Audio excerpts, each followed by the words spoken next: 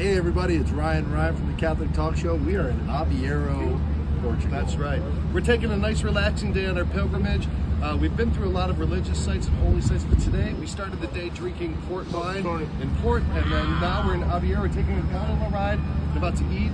And then this is the day before we go off to Spain to Compostela. Yeah. So this is kind of a day where everyone can shop and eat a little bit and recharge for the second and the final leg of our thing. So wish you could have been here. It is amazingly beautiful, Beautiful 70 weather. degrees, awesome. And uh, we'll see if we can keep this boat afloat. Yeah. See you the next one. See ya.